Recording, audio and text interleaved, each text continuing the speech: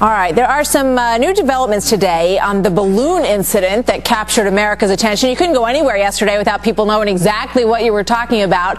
Uh, moments from now, Larimer County Sheriff's uh, Department is going to hold a news conference, uh, press conference. We're going to take you there. But by now, you've all come to know this uh, family, Falcon, the littlest boy there, and his family. And now there's a lot of questions out there about exactly what happened here after an awkward interview with the family. Now the sheriff says he wants to re-interview the Heenes. Uh, and that man joins us now on the phone, Jim uh, Alderden. He is the Larimer County Sheriff. Sheriff, good to have you here. Welcome.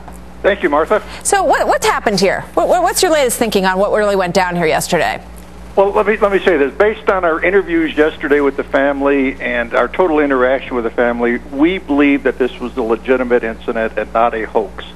Uh, we still believe that. However, in light of the interview that occurred last night on uh, CNN with Wolf Blitzer and a little boy saying something to the effect of "We did it for the show," we think we have an obligation to go back and try to clarify that with the family and you know put this issue to rest as to whether it was some sort of a publicity stunt or not. So we intend to do that. We had hoped to do that today.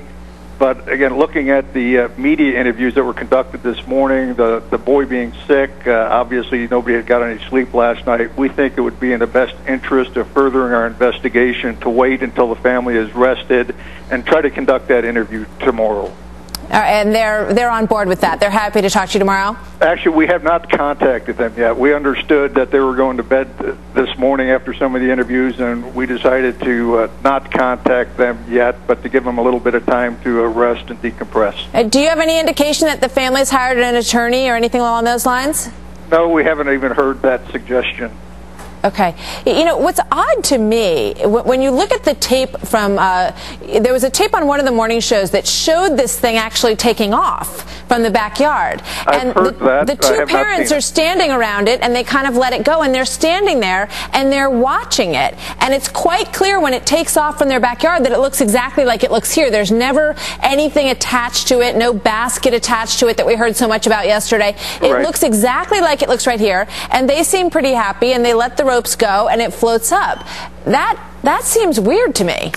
Well, if you if you've seen the photographs, there is there's not a basket, and I think it was somewhat miscommunicated to us at the beginning as to what this thing looked like, and I think perhaps we described it as a basket. But there's a cargo container that's about four foot diameter and 18 inches high, uh, right underneath the uh, mylar or the aluminum skin and that that is a compartment that contains a battery and it's actually got a door to it and that's yeah. where the child had been trying to crawl in and out and had been shagged out of there earlier that morning. Right. Now, let me just ask you one more question. A lot of people look at the tape and they hear the dad talking and, and uh, you know, other folks who are parents, and it's very hard always to judge how you're going to respond to these situations, uh, feel that, you know, that they you know, that there, it seemed a little bit insincere at some moments. Now, did you have that impression when you spoke with him or the mother?